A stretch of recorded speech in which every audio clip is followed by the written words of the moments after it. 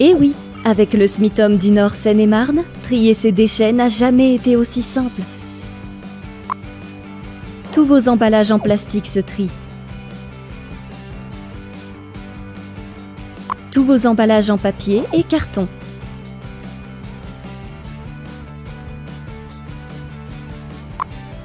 Vos emballages en métal aussi, y compris les petits.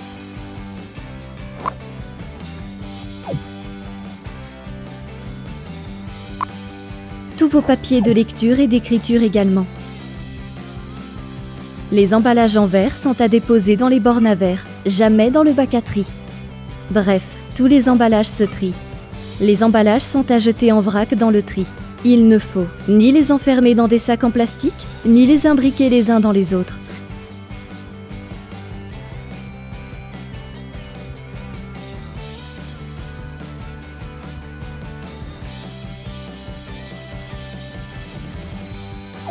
Et uniquement les emballages, pas les objets.